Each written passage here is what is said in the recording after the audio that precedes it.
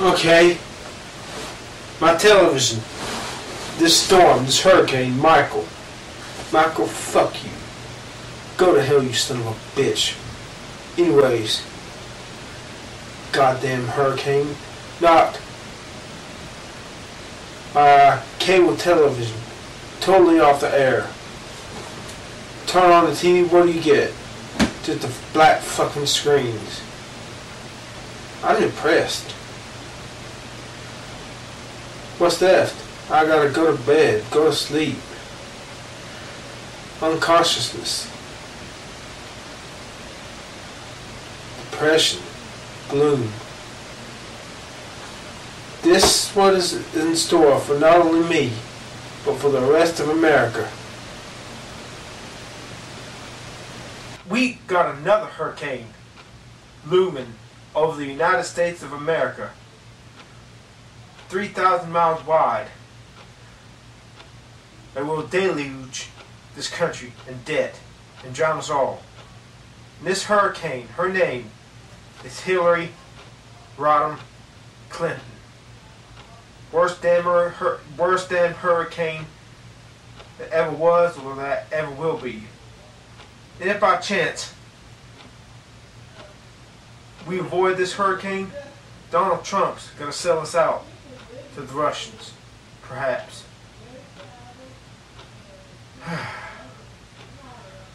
Sometimes I think I would be better off dead. No matter who becomes president, especially if Hillary Clinton becomes president. Hillary Clinton becomes president, country's gonna go bankrupt.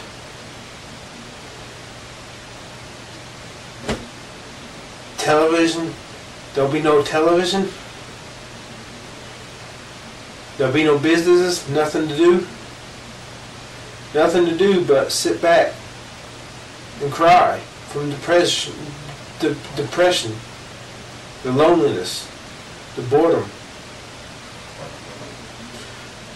God, I pray her that Hillary has a stroke before she sits in the Oval Office and takes a shit on the Oval Office in the Oval Office. I hate that bitch. I hate her for what she's gonna do to America. I hate her. Please God, let her have a stroke. Get her out of the running any way you can. Please. Dark days are, are ahead of us in America. The immigration, letting all these cats in our country, ref, refugees. That this is the Trojan horse. That ISIS and this Muslim fanatical Islamic jihadists are gonna hide in and gain access into our country and bide their time and wait for the signal to attack and weaken us from, from within, which will cause our enemies from out without to attack us and totally divide the nation. Now I'm lose my Medicare. Hell, the businesses that produce my medicine, even if I don't lose my Medicare, I'll not be able to buy my medicine because nobody will be making it. And I die from a stroke or acid reflux. I, I just kill myself. And that's depressing because I don't want to. Hillary Clinton, fuck you, fucking bitch. I curse you.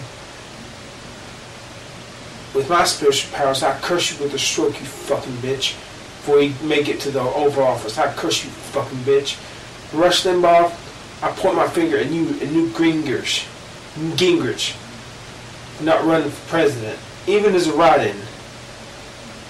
This Donald Trump motherfucker, Russia's hacking into Hillary's emails and uh, digging up all this dirt on Hillary because Russia wants Donald Trump to be president. I smell a rotten egg in the dozen. Something's fucked up. I don't know what it is about Donald Trump, but I got a my spider sense is tingling. Something's not right with this this retard. He does not belong in the Oval Office. Rush Limbaugh, Newt Gingrich, if you see this, put your name, to run as write-in, because when the country goes bankrupt, I point my finger. If I see you on the streets, I'm going to kick you in your balls. Because I laid the blame of this country's demise solely on your shoulders. You all good men, all good men must do for evil just triumphs, for evil to triumph in times of moral crisis is nothing. You done nothing. You haven't done jack shit enough to offset the demise of this fucking country. So may you have a heart attack with Hillary Clinton's stroke for, for this fucking shit. I resent you not standing up so I can have an America to live in happily with my property, my medicine, 35 years from now. I curse every goddamn one of y'all. Thanks a lot, God, for this misery. I'm depressed. Maybe I just ought to kill myself. I'm too afraid to do that. God fucking damn it. With pit, with pit smelling shit